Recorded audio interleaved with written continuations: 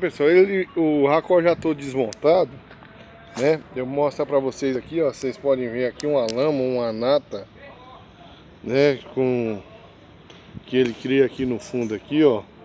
Como ele criou aqui também, aqui onde vai essa esfera aqui, né? Aí, ó, pra vocês verem aí, ó. É, como nosso combustível é sujo, não é pra falar que meu tanque é sujo não, viu pessoal?